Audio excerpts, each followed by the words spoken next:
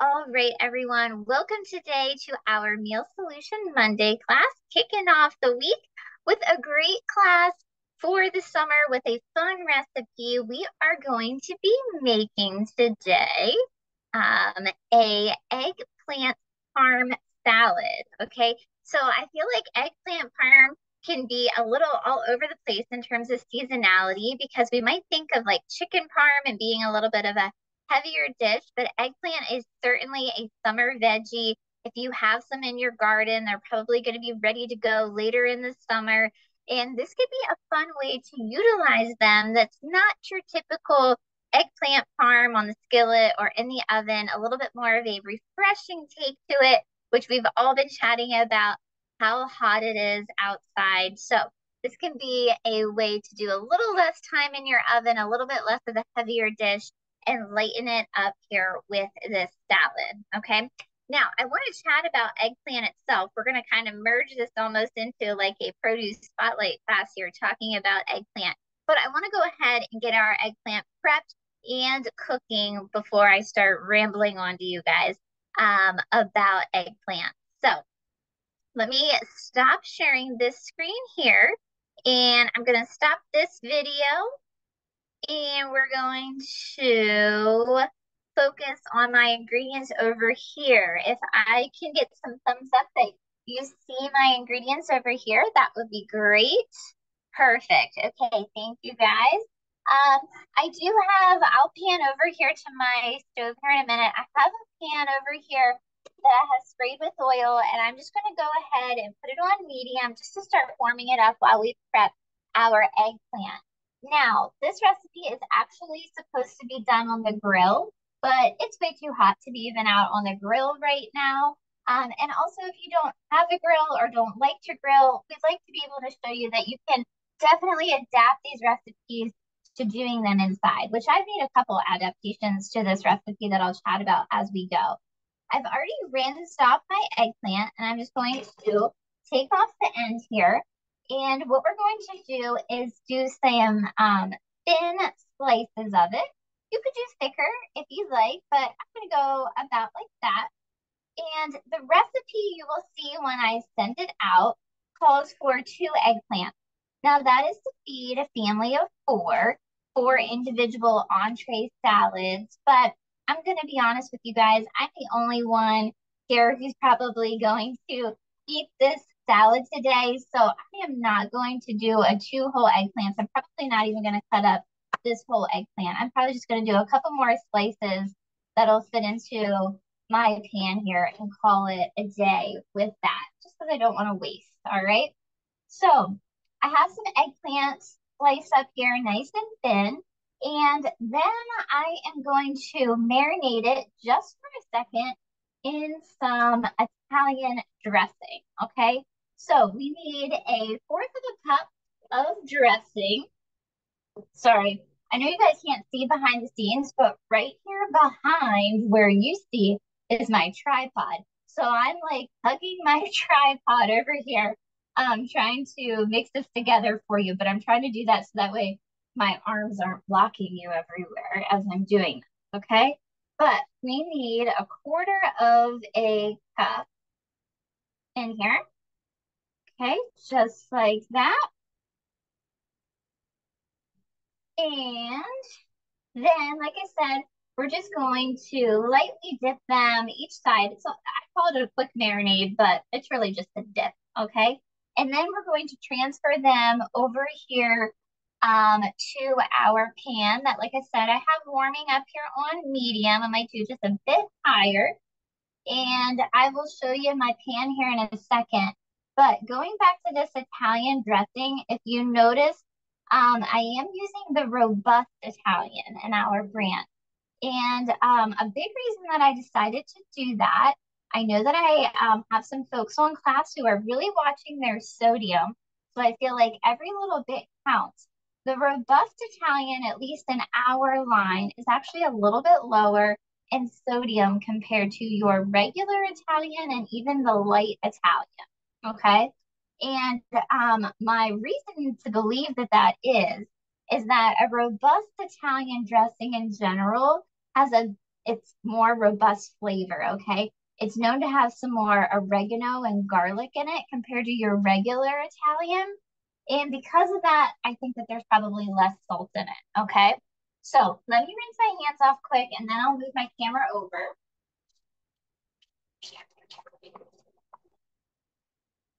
But I think that that's good to keep in mind about dressing, especially here during pasta salad season. So if you're looking to have um, a little bit more, let me move this over. Um, if you're looking to have a little bit more of a robust flavor in the way of a pasta salad, then maybe you want to go with that Italian dressing rather than the regular. And then, like I said, it's just a hair lower in sodium. The sodium content in this, I'll show it to you again, in this robust Italian is 300, okay, which I know that is still not considered low sodium by any means, but I think the regular Italians were like 340 or so. So any little bit can help. Um, as you can see, I just covered my dish here. We want to cook this eggplant on each side for about three to four minutes, okay? So, um, oh, I see that somebody shared a recipe. Was it this recipe or another recipe? I was too busy looking over this direction and didn't see um my uh my chat. I'll have to look at that then. um, so all right, let me go back to oh, there you go. Oh, the the eggplant boat. Very nice. Okay, perfect. So let me go back to sharing my screen for you guys. And let's chat a little bit about eggplant itself. So can you guys see my screen again? If I could get some thumbs up, that would be great. Yes, perfect. Okay, so while my eggplant is cooking here, three to four minutes on each side, let's chat about eggplant itself. Some of you have already mentioned this in chat, but eggplant um, can come in a lot of different varieties from what we were using today being the purple, that nice deep purple, but there are also other varieties that are white, red, green, or even black. Okay, so even a deeper purple than what we were using today. And the name eggplant actually came from that white variety. So um, the plants looked like eggs because they were white eggplants kind of hanging in a tree, or not a tree, in a plant and they looked like eggs. So they called them eggplant, um, which is something I did not know until I created this presentation and I thought was pretty cool. Um, so yes, that is where the name eggplant comes from. Um, in the United States, New Jersey actually produces the most amount of eggplant. And then my last little note here, eggplant is one of those things that's kind of like a um, tomatoes. So I have on here, I see somebody just asked the question. I have on here, scientifically, eggplant is a fruit, but nutritionally, it's a vegetable. And what I mean by that, and I say the same thing about tomatoes, is that from a scientific standpoint, um, eggplants are flowering, and so they have seeds and they are then therefore considered a fruit. But from a nutrition standpoint, we do not consider eggplant a carbohydrate. So although it is a fruit, it doesn't contain those higher natural sugars similar to strawberries, bananas, watermelons, whatever it might be. So that's why I like to kind of put it in that mind frame as yes, from a science perspective, it is a fruit. But when we're talking about nutrition, we are not considering eggplant a fruit that is a carbohydrate. Okay. Um, that's so interesting to see a lot of you mentioning about New Jersey, eating a lot of eggplant there and eggplant parm. I really, um, I really had no idea the vast amount of farmland and agriculture that's really heavy in New Jersey. I think about the beach when I think about New Jersey, which is a, a good thing, a positive thing. I love the beaches there. Um, but it's really awesome to hear about the ag side of that state as well. All right. So moving on, why do we want to incorporate eggplant in our, oh, I see somebody said New Jersey is the garden state. True story. It totally makes sense. It does. It does. Um, but why do we want to incorporate eggplant into our day? These are the most notable nutrients, okay, about them that we really want to um, emphasize there. Uh, first up is the fiber, and that is why we did not peel the skin off of our eggplant slices that I have in here, which I'm gonna go ahead and turn them. So give me a moment. Um, but yes, we kept the skin on our slices. Oh, let me use my spatula instead. I thought I was going to be fancy and use these little tongs, but no. All right, let me get a spatula. They're more like a pancake. Um, so the skin is on here. That skin is going to be chock full of fibers. We want to leave that intact. That fiber, once again, like we always chat about, um, it's going to be helpful for our heart health as well as keeping us full and potentially helping to stabilize our blood sugar a little bit. So I'm going to go ahead and cover that back up. But there we go. We have the fiber component. We need to leave that skin on to have it. If you have a recipe though that calls to remove the skin, um, a vegetable peeler, I have used it before, is a great way to take the skin off of an eggplant if for some reason you have um, a recipe that calls for that to go. Um, next one on there, potassium, a good bit of potassium in there. We think about potatoes and bananas when it comes to potassium. Eggplants also have a good bit of potassium as well, which can be great for our blood pressure. It kind of counteracts um, some sodium and whatnot in there. So potassium, a great one. Folate as well, um, especially for those that are in childbearing um, ages and whatnot. But we do need folate throughout the whole life cycle. So a good one to get with your eggplant. And then lastly, the reason that your eggplant is purple, one of my favorite phytonutrients, anthocyanins, um, also an antioxidant, has those properties. That is what makes purple foods purple. Um, and those antioxidant qualities in anthocyanins can be really, really great for our heart in particular. So the more purple foods that we can incorporate, the better. Okay. So our tomatoes, I'm not tomatoes, our um, eggplants are almost done here.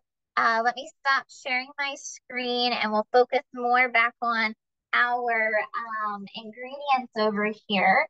So I'm gonna let our slices cook for just another minute longer. And I have a Roma tomato here. That's why I said tomatoes a minute ago. Um, they were involved, not random. So we have a Roma tomato here. You'll see once again, the recipe calls for two of them, but I just picked up one um, because I knew I wasn't going to be making so many slices. You have some of these growing in the garden, that's great. If you have other varieties of tomatoes, that's fine too, whatever you would like to do. Um, and I'm just going to slice these up to then put on top of our eggplant. See if I have enough tomato to go on the amount of slices of eggplant that I have here. Once again, don't mind me as I'm like hugging my tripod, cutting this tomato. I apologize. For those of you who follow me and my nails, I got my nails done over the weekend, they're pretty pink. Um, so let's take, let's take us back over here to our pan, okay? So over here, I'm gonna take that cover off.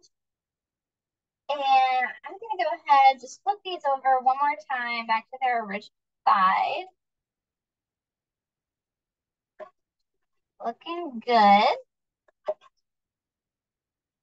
Okay. And now we're going to go ahead and top them with our tomato slices. Oh, that was hot. Accidentally touched the side there. So this is how it's getting that um, parm vibe, okay? We're not using actual tomato sauce.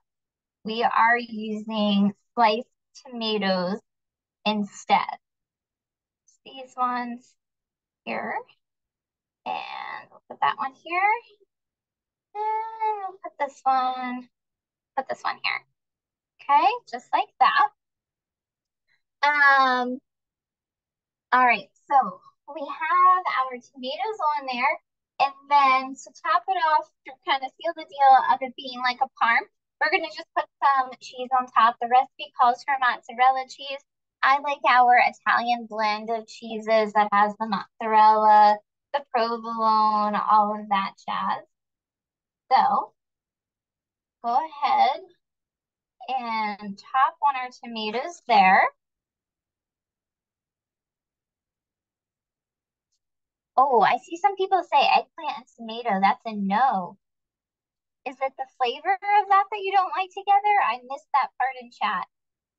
I'll keep trying to look over. Okay, we get that on there. Oh, they are considered nightshades. Yes, they are. Eggplant is in the nightshade variety. Okay, there we go. We got that on there. I'm going to cover this back up just for a minute. We're going to let that, um, that cook up a bit. And then let me kind of clean up my station over here a bit.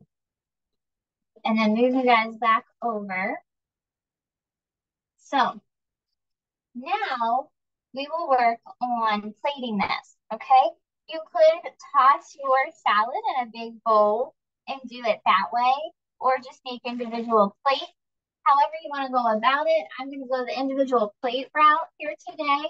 If you do do it in a bowl as the recipe calls for, it then tells you to toss your lettuce with some more Italian dressing. I think this way you just kind of let people dress their salad up how um, they want to. All right. So get a little bit more on there. Good. And then our tomatoes are almost done. I'm gonna grab um one more thing here out of the fridge. There we go.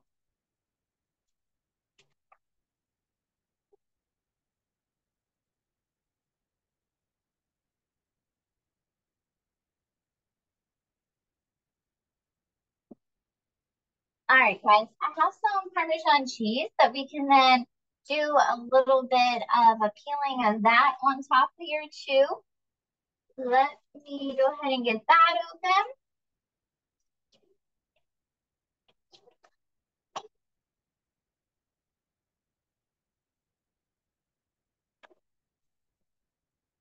Sorry guys, struggling. Just a moment. Okay.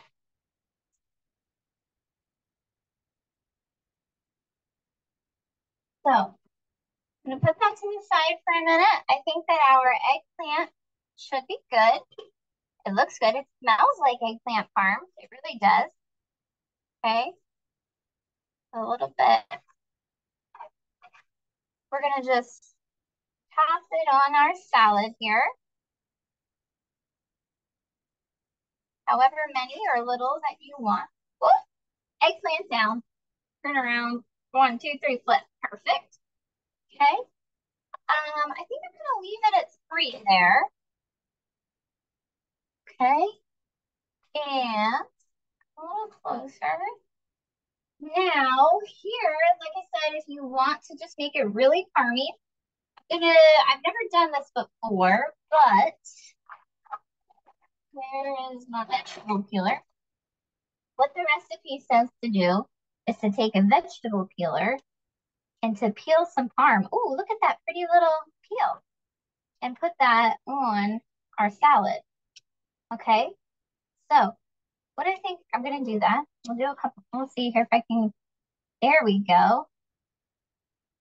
Ooh, that's a good one. There we go, perfect do some more here. This side's a little easier, like to get. Okay, so just having that on there, tucked in. I might kind of try to, there we go. All right, do one more over here. Perfect. Okay, put this to the side. I'm going to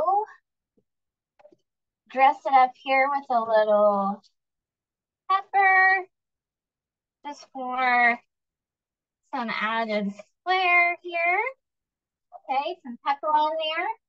And then I'm gonna take that robust Italian and just do a little drizzle. Oh, also guys, the recipe, whoops, that came out a little bit. The recipe calls for arugula. I am not an arugula fan. I am a romaine fan. So that is what I made it with. But there we have it, our eggplant parm salad. Okay. So once again, just a fun, different way to um, utilize eggplant, eggplant parm. Let me um, come back here. Eggplant parm is something that I grew up eating a lot with my gram, and I think she would have loved this recipe. So just a different take on stuff like that, I think is always fun to bring into the kitchen. So thank you so much for hanging out with me today. I really appreciate it. It's good to have you all along. Um, please stay cool in this weather. I'm going to go ahead and turn off our recording. Um, we, of